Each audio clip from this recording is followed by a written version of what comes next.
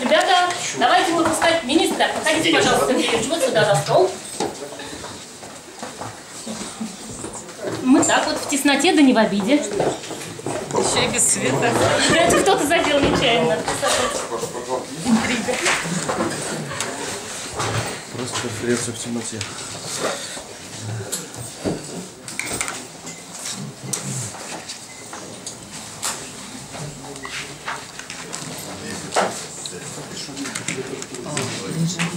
Давай.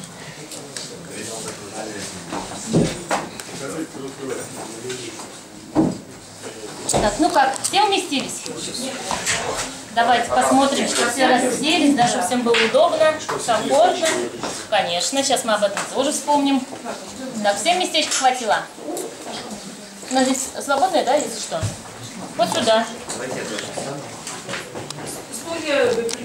Да, если кому-то не хватило местечко, мы стульчик сейчас подставим.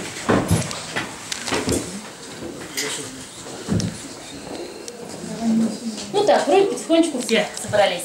А, Добрый день, дорогие коллеги. Давайте начнем нашу работу. Мы очень рады приветствовать вас в стенах Нижегородской правды. Меня зовут Власова Елена, я главный редактор газеты «Нижегородский спорт», еж- еженедельного приложения газете «Нижегородская правда».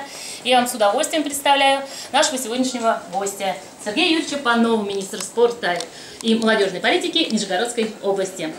А, Сергей Юрьевич, ну, все мы прекрасно знаем, что вы не так давно заняли пост министра, поэтому, прежде всего, мы вас с этим поздравляем. Да, коллеги? Да. Безусловно.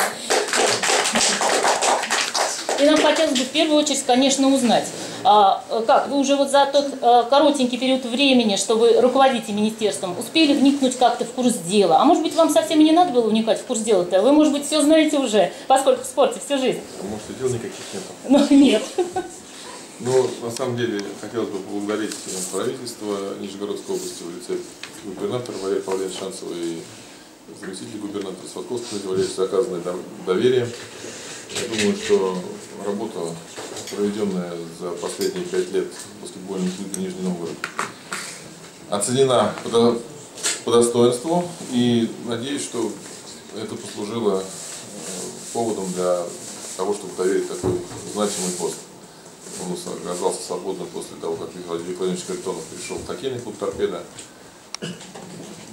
Признателен, что выиграл, скажем так, конкурс у людей, которые давно в Нижнем Новгороде, давно занимаются спортом. Ну и высокое доверие постараюсь оправдать своей работой, своим отношением,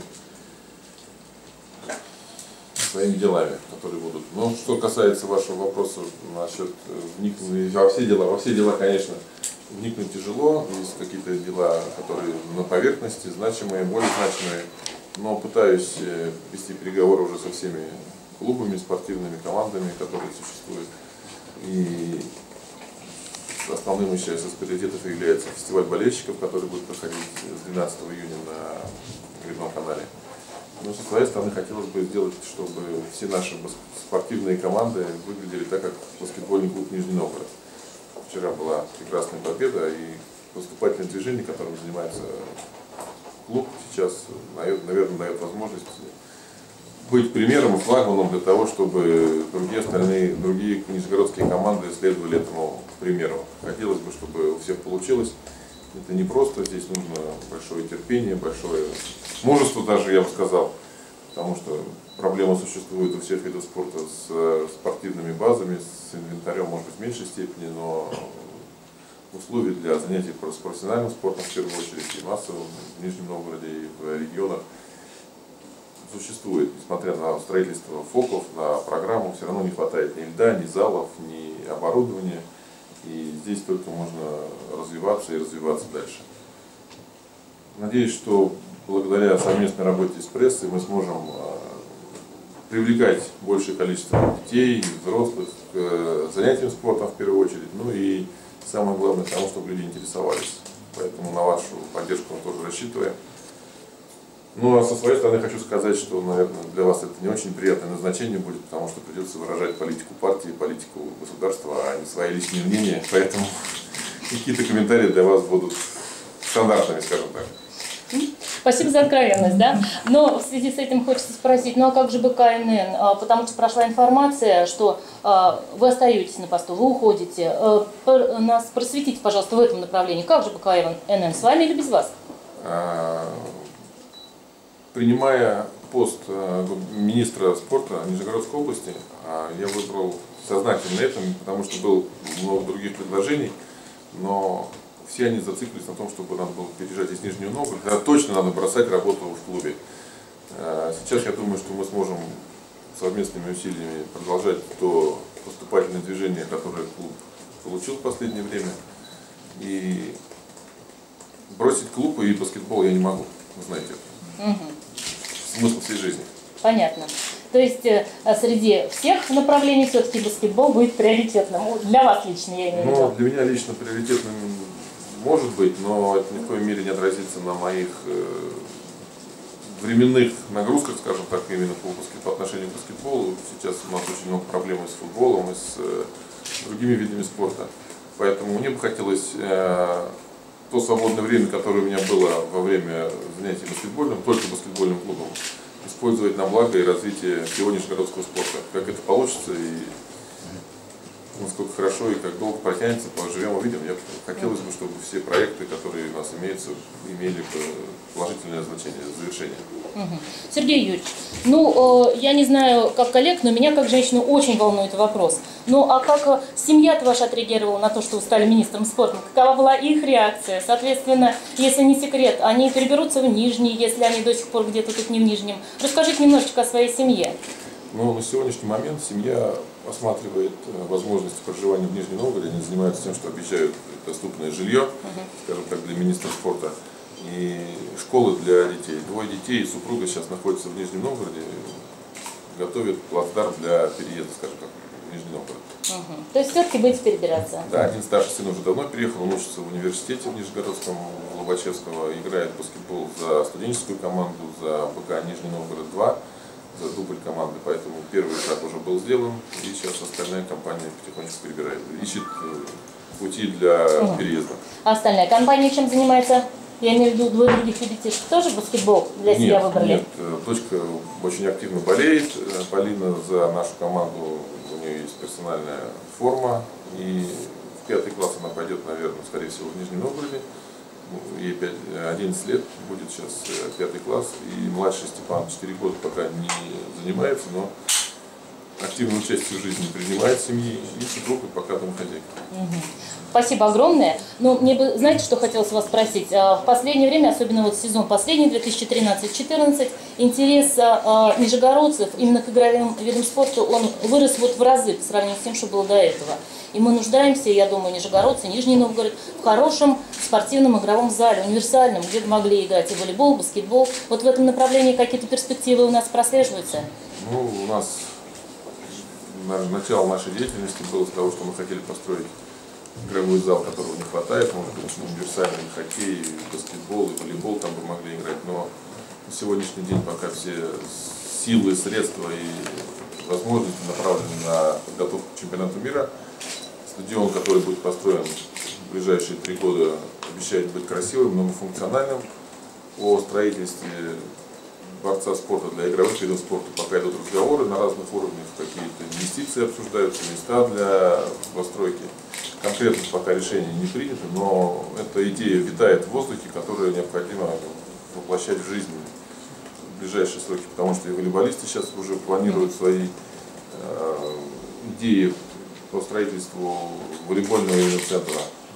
Есть обсуждения уже как бы под, подыскиваются какие-то инвесторы, но как дальше уже как бы следующие шаги можно делать. Я, знаю, что президент клуба Никита Гурьев обращался уже и по- во всевозможные инста- инстанции, и мы обсуждали эту тему, но проектных взыскательских работ пока нет. Ну, э, Нижний Новгород, понятно, у нас достаточно много спортивных объектов, но у нас в области, кроме физкультурно-оздоровительных комплексов, э, люди хотят, конечно, спортом заниматься активно. И вот у нас вопрос от нашего читателя из э, э, Варнавинского района. Он пишет так. Необходима спортивная площадка в селе. Сметная стоимость 40 тысяч, э, 46 тысяч. Вот я прям дословно привожу его, да. В местном бюджете средств нет. Помогите. Вот такие вот как бы э, поддержку вот таким вот просьбам, вот таким проектам, она как-то планируется в перспективе? Ну, конечно, если просьба будет озвучена в подходящей манере, то это небольшие деньги, если это, ну, это только проектная работа, ну, да, да. но это а, строительство, а все остальное, пусть обращаются в Министерство спорта, конечно, мы постараемся помочь, но всем помочь невозможно, потому что я говорю, что потребность э, колоссальная, не хватает ни площадок, ни льда, ни залов, ни строительства фоков идет, она как бы эту проблему скрадывает, но потихонечку люди занимаются спортом. Вот таких плоскостных сооружений, наверное, все-таки больше касается муниципального образования. Ну, ну, фоки, по должны, как бы, часть, частично проблему решают. Хотелось бы, чтобы и фоков было больше, и площадки везде строились, и таких писем обращений бы не поступало, потому что все были бы удовлетворены положением. Но, к сожалению, по мере возможности будем отвечать и строить, и помогать. Ну, то есть возьмем на заметочку заявку из Записывай. Варнаинского района. Вот, но продолжая разговор об игровых видах спорта, хотелось бы поинтересоваться. У нас как-то везде солируют мужчины. А вот дамы, ну, за исключением скифа, да, они немножечко у нас подстают. Тот же самый баскетбол высшего уровня области как-то у нас вот не поднимается. Вот а, планируете ли вы какие-то меры поддержки вот именно женского командного спорта? Но я вам скажу, что как выступает СКИФ, это пример и образец для всех мужчин, которые у нас э, играют во все остальное. С мячом и шайбой. Чемпионами страны наши мужчины станут в будущем, скажем так. Не в настоящем, да. Поэтому хорошо, что у нас есть СКИФ, хороший пример, но есть обращение, если недавно, вчера разговаривали по поводу водного пола клуба Олимп, там существуют определенные проблемы. Девочки и тренера, и руководители клуба обещают, что нужно улучшить условия, финансирование, как обычно, все обещают медали, пьедесталы. Проблема, знаете, что на всех не так просто нам распределить средства, чтобы все были удовлетворены. Поэтому мужчин, наверное, все-таки более привилегированном положении, потому что мужчина это спорт в первую очередь. С женским хоккеем, волейболом, водным полом, может быть, футболом, конечно, будем разбираться и надеюсь, что медали у нас уже у наших женщин будут на высшем уровне. Ну вот так всегда, будем разбираться, планируем. Ну я вам сейчас не могу сказать конкретно, неделю только начал как ходить на работу, вы мне сразу о, о, о глобальном. Да. Да. Но, тем не менее, о, глоб, о глобальном не спросить нельзя. Вы уже оговорились, что нас в ближайшее время ждет а, вот этот вот замечательный футбольный фестиваль. Расскажите, пожалуйста, на какой стадии подготовки находится вот эта вот работа и что на себя будет представлять? А, на сегодняшний день план мероприятия такой, что мы должны показать 5 матчей обязательно. Это матч открытия и закрытия чемпионата и три матча сборной России.